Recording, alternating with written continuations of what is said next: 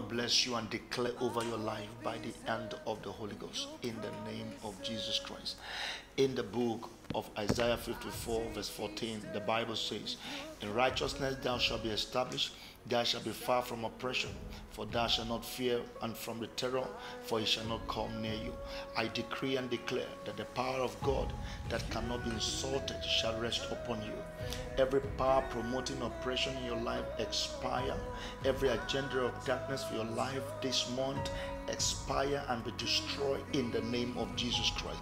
I decree and declare covens of oppression, conspiracy against your breakthrough, against your progress and your lifting be destroyed in the name of Jesus Christ. Messengers of darkness assigned against you, your family, and work will receive supernatural destruction in the name of Jesus Christ. The battle of life shall not conquer you.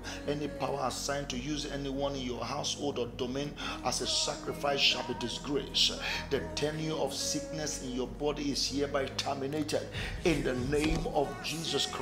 I decree over your life every power assigned to waste your life or waste anyone in your family shall be wasted in the name of Jesus Christ. Every tongue contrary to your progress is condemned. Every attempt to cover your glory by dark powers shall be aborted in the name of Jesus Christ. You shall not answer to evil summons in the name of Jesus Christ. I command the camp of your enemies to be scattered by the power of the Holy Ghost in the name of Jesus Christ. Every satanic contract signed for your sake, I decree that the blood of Jesus cancel it in the name of Jesus Christ. And any battle that has grown hold in your family and your lineage affecting everyone expired now. In Jesus' mighty name, I've declared.